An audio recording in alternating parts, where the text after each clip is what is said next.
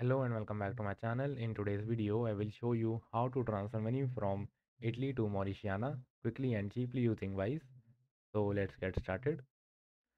In order to transfer money from Italy to Mauritiana, you must have a Wise account. If you don't have one, you can easily create one for free. In order to transfer money, you have to enter the amount that you want to transfer. Then you have to change the currency of recipient to Euro. Now you have to click on continue now it will ask you the details about yourself like your country of residence, full legal name, date of birth and phone number. Now you have to click on continue. Now it will ask you the details about recipient. Then you have to review the payment and at last you will be able to pay the amount. So yeah that's it for today's video. If you like this video please don't forget to subscribe to our channel. Thank you.